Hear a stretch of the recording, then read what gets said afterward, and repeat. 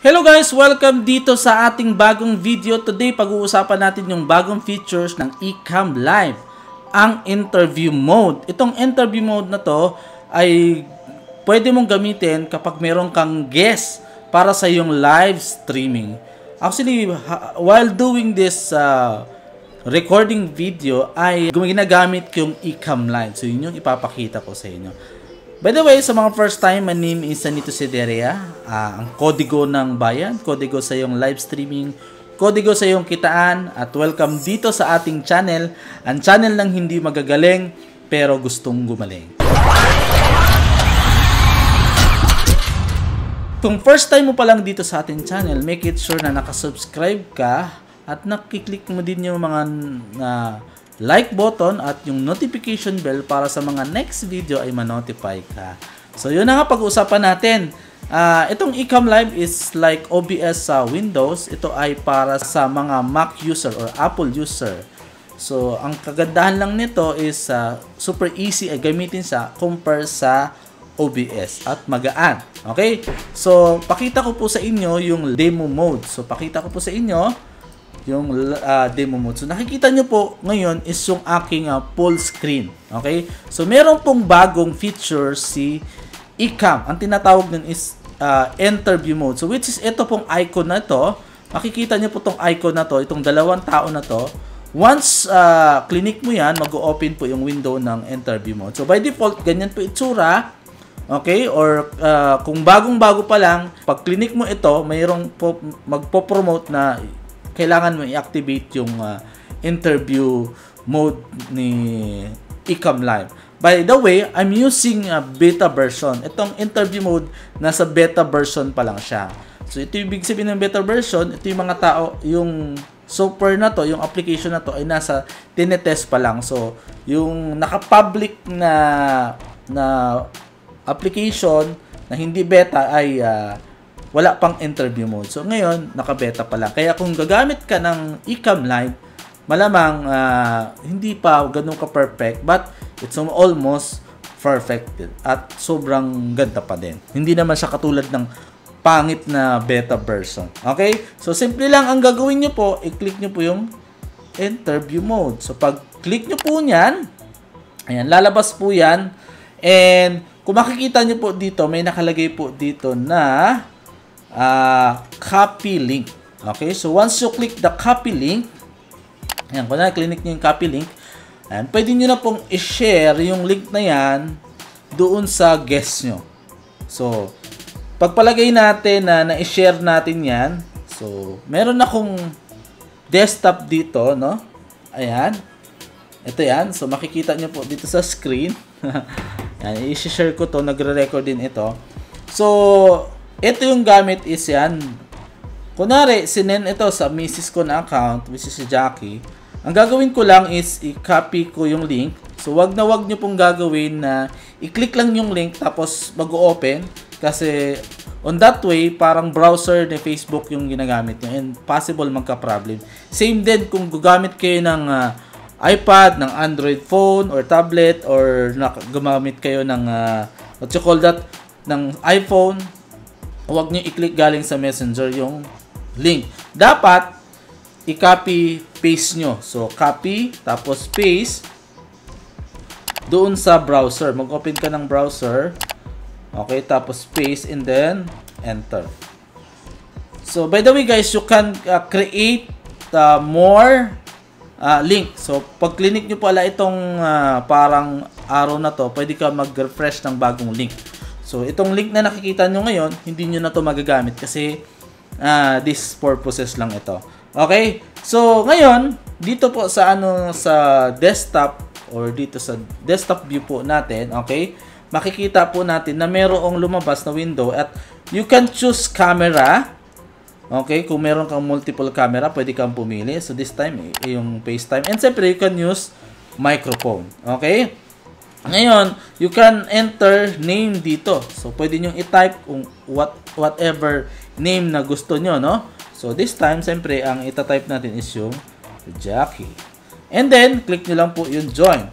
Once you click the join, mayroon pong lalabas dito sa ating uh, dash or dashboard or yung back end po natin, okay? Uh, yung sa ating interview uh, window, meron pong nakalagay na Jackie is joining. So parang nagko-call si Jackie. So ang gagawin lang po natin, i-click lang po natin yung green button or yung uh, uh, answering button. So pag click po natin 'yan, yan, automatic po nasa green room na. Guess in green room. Ibig sabihin, wala pa siya sa live. Nasa green room lang siya. Hindi pa siya ina-accept. Okay? So, pwede sa kasing uh, tanggalin na sa green room or ilagay na sa live. So, pero sa Windows naman or sa browser ni Jackie, makikita dito na uh, nakikita na ni Jackie yung live feed ng aking live. Okay? So, dahil naka-demo mode tayo, kaya ang nakikita dito sa live feed ni Jackie is yung buong desktop ko. Which is yun din yung nakikita nyo ngayon. Yung buong desktop ko kasi nga naka-live demo tayo. Okay? So, anong meron dito sa uh, guest ano, dashboard? Okay, makikita ni Jackie dito yung itong pinaka live feed and siyempre yung camera niya and you, they can switch their camera at yung pinaka live feed pwede niyang i-switch-switch yan. Switch yung camera, switch yung live feed. Okay, ngayon, meron pong mute. Okay? So, this time, i-mute natin yung ano ni Jackie kasi pamaya, dahil maririnig, may mic din to, eh, may mic to. So, pag pinasok ko to, magkakaroon ng feedback. So, this time, i-mute ko yung, yung ngayon yung uh, ano ni Jackie. Para pag pumasok siya mamaya, is walang feedback. Okay? So ngayon, meron din tong hang up. Ayan, nakikita niyo ibig sabihin ay uh, pwede kang uh, umalis sa sa as a guest, okay? Ngayon, nakalagay po dito in the green room, you are not in the show. So, ibig sabihin may notification nun na nawala ka pa show sa show. And the host and audience cannot see cannot see or hear you. So, may wrong notification.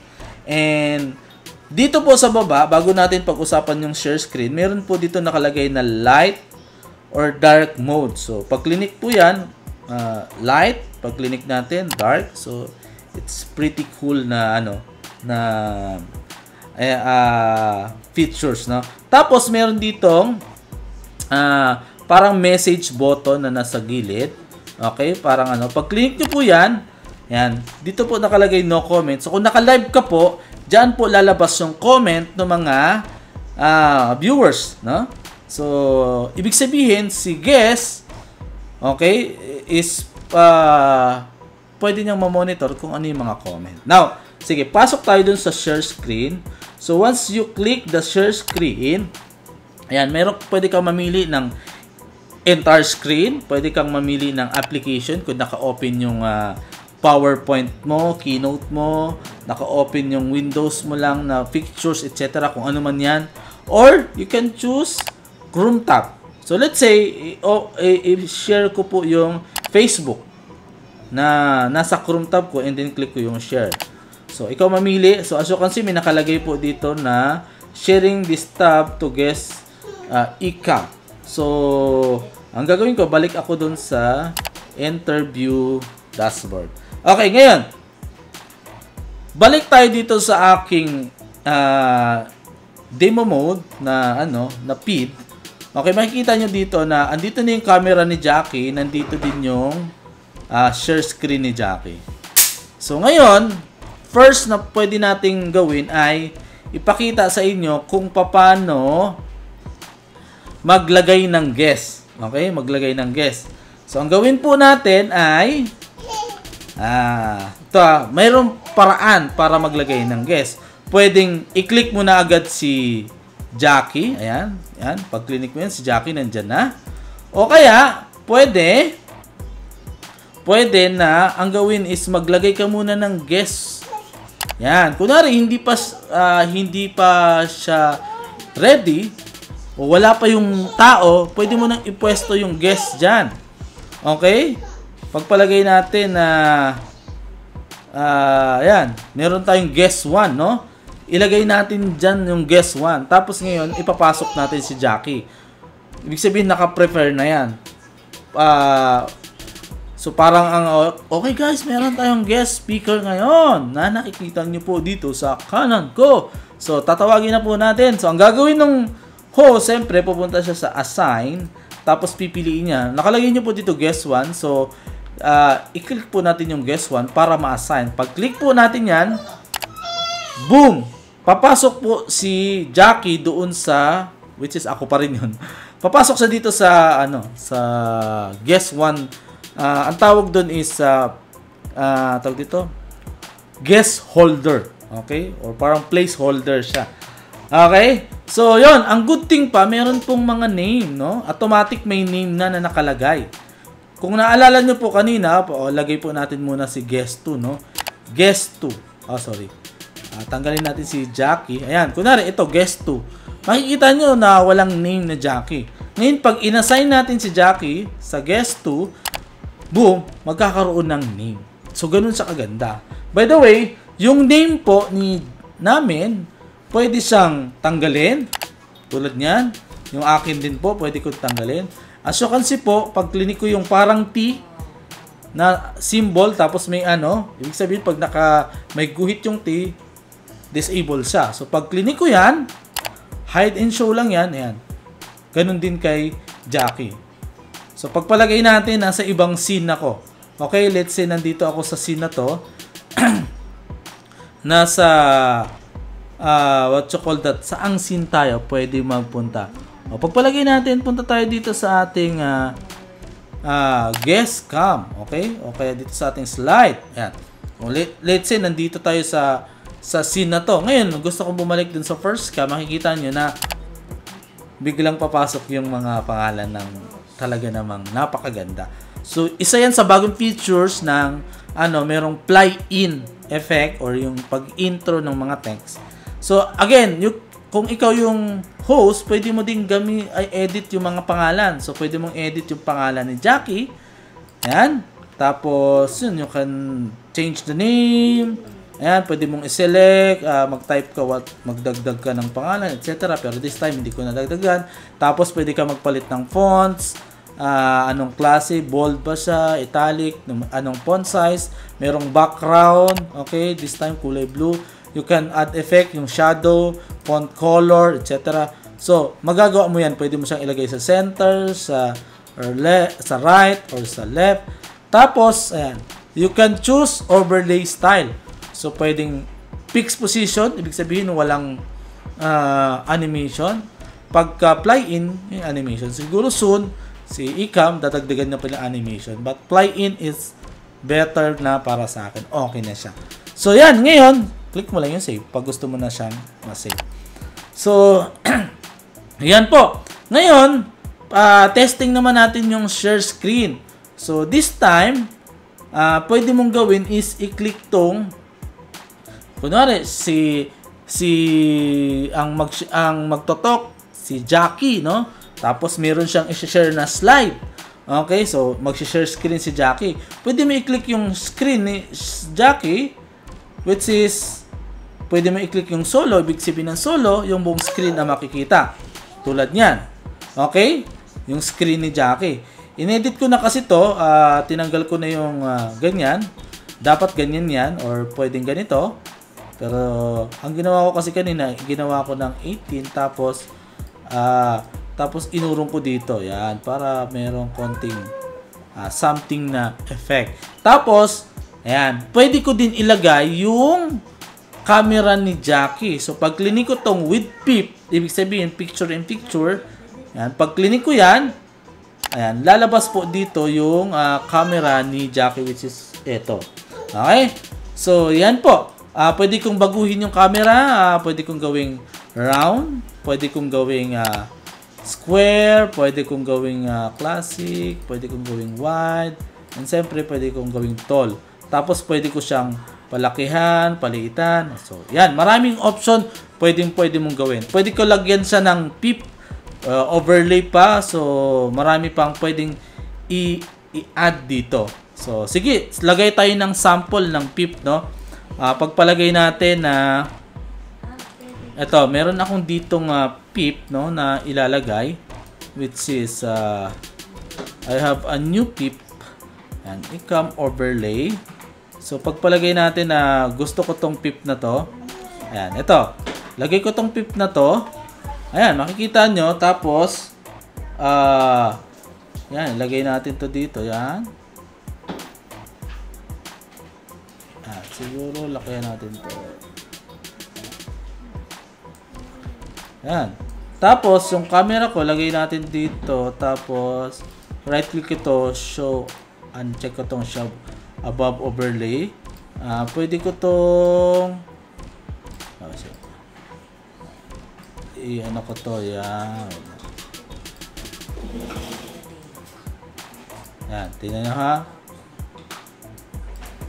Show above overlay. So yan, yan na ngayon yung ano, yung pinaka uh, ay uh, parang live. So pwede nang mag-share si Jackie. Pwedeng again, pwedeng mag-solo, pwedeng magano. So, this time, tanggalin natin yung beep. Ayan.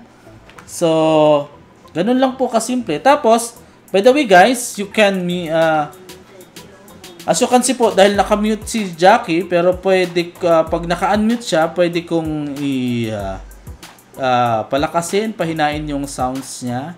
Same din nung sa akin, siyempre. Ayan. Tapos, uh, pwede, dito po makikita nyo dito sa may ano, sa may sound effect, mayroon pong live uh, interview. So kung naka unmute po si Jackie uh, at gusto ko siyang tanggali ay na, tanggalin yung sounds niya or yung yung ayaw ko marinig ng mga audience ko yung mga boses nung nasa interview ko, yung mga guests ko. Uh, tapos na wala na sila sa green room, nakasama na sila sa live, pwede ko i-click yung mute. Okay? Or unmute ko or tapos pwede kong piliin yung size. So this time kaya walang sounds dahil uh, naka-mute si Jackie. So i-unmute ko si Jackie dito para makita niyo na may sounds. Ayan po. So malamang narinig yung word na po, boses. So yan. Tanggalin ko na yung ano. So yun, yan po ang atong ano, ang ating uh, uh, ano, uh, interview mode. Pakita ko lang sa inyo, guys, na uh, ilagay natin no sa left, no? Uh, sa right, oh. So, parang ganito po itsura niya pagka naka-output tayo, no? Naka-tanggal sa live demo. Yan, parang ganito po itsura. Nakikita niyo si uh, Sanito, which is itong, uh, ano ko? Ano ko? Okay? Okay. Yan. Yan. Ang good thing, no? Ang ganda, pa nito, no? Ang, ano, is kahit uh, yung software mo ay hindi naman ganun kaganda, or yung Mac mo or yung PC mo hindi ganun kaganda, okay lang kasi napakagaan, no? Uh, 4 gig lang yung RAM ng aking uh, MacBook Air, tapos 2013 to ng MacBook Air. Talagang sobrang luma na pero still gumagana pa. Tapos, pwede ta siya sa phone, sa Android, sa Windows, basta guess, hindi niya kailangan mag-create ng sarili niyang account. Pwedeng, pwedeng gamitin. And, sorry for the echo, hindi ko napansin na na-click ko pala yung uh, mic nung interview mode. But, uh, I have to explain sa iyo yung isa sa mahalaga na if you are uh, using interview mode, meron ka lang allotted time sa interview mode which is 20 hours per month. So, yung time na yon gagana yon halimbawa uh, nagla-live ka parang ganito wala pa naman akong interview walang naka-call. Parang ganito let's say ganito. Uh, hindi gumagana yung allotted time. Pag kay sinagot mo na yung call nung yung guest mo is doon lang mag-uumpisa yung time para mabawasan. So again 20 hour per month. So per year pag annually yung plan mo is 250. So, meron kang libreng uh, 10 hours. Now, uh, kung nabitin ka, pwede kang bumili ng another time. So, magkano yon? It's 14.99. Uh, it's the $15. So, or sa peso is 750. Tapos, 20 hours yon. Ngayon, ang good thing doon is uh, naro-roll over. Ibig sabihin, uh, let's say hindi mo naubos this month itong binili mo na bagong uh, time na extra time let's say nagastos mo lang is 10 may natira ka pang 10 so next month instead na 20 yung time mo magiging 30 na yung allotted na time mo So, parang ganun po yung maging scenario. So, question, paano bibili? So, papakita ko dito sa ating uh, live demo. So makikita nyo po dito, you have 99 hours remaining interview. So, pag clinic ko po itong uh, ayan, clinic mo yan, may, nakikita, may makikita po kayong uh, kung ilang times na lang ang natitira. So, 99 hours and 3 minutes. And, ito po, i-click nyo yung add time pag gusto nyo bumili ng uh, bag uh, ng uh, new allotted or 20 hours uh, uh, na time. So, yan po. And ako, kaya 99 kasi may parang yung plan ko sa 1 year ay nag-start kasi ako is sa uh, February 2007. So that's why meron akong 5 months no, na 20 hours per month. So tapos I'm uh, grateful kasi nakapwesto po ako or na nakakuha po ako ng lifetime subscription kasi OG po ako ng Ecam Live. Ibig sabihin ng OG is kami yung mga nauna. So, dati, nag-purchase ako ng lifetime subscription. Hindi ko na maalala kung magkano. I think $39, $49. So, nag-abil ako. Uh, tapos, naging... Uh, dahil lifetime yon nung nagkaroon na ng monthly subscription, hindi na kami siningin ng monthly subscription kasi reward yon dahil kami para kami yung unang naniwala sa application na to. So, I'm grateful. That's why nagagamit ko ang ikam ngayon ng libre. So, yun po. So, again, kung if you are interested na magkaroon ng Ecam Live, simple lang po ang gawin nyo is i-click nyo po yung nakikita yung description sa baba, yung link na or click nyo to, nakikita nito sa, sa screen. Tapos, uh, magkakaroon ka ng 14 free trials, 14 days free trials ng Ecam Live, yung pro version. So, para matest mo kung gusto mo ba siyang i-go as a live streaming software sa iyong uh, mga streaming. Okay? So, uh, kung natuwa ka, may natutunan ka sa video na to, uh, i-thumbs up mo na yung ating video. I-subscribe mo na rin itong channel na to at i-click ang notification bell para ma-notify ka sa mga next video natin dahil marami tayong gagawin na katulad nitong video na to. So, again, my name is Anito Sideria, ang kodigo ng bayan kodigo sa iyong live streaming. At maraming salamat sa pagbisita dito sa ating channel, ang channel ng hindi magagaling, pero gustong gumaling. Maraming salamat! Bye-bye!